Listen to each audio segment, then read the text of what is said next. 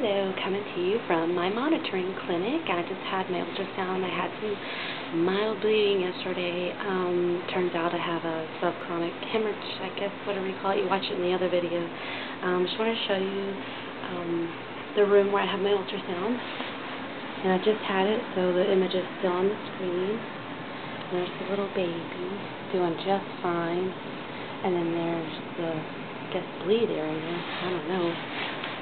And then there's here's the little screen that we watch it on right here. So that's pretty cool. I just wanted to show you that.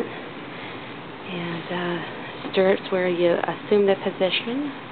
And there's the little the weenie wand ultrasound that they use.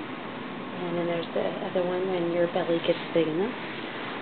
Um, got a little picture, of course. Um, that's it. Said the baby looks fine. Um, bed rest. So we'll see what happens and see if it goes away.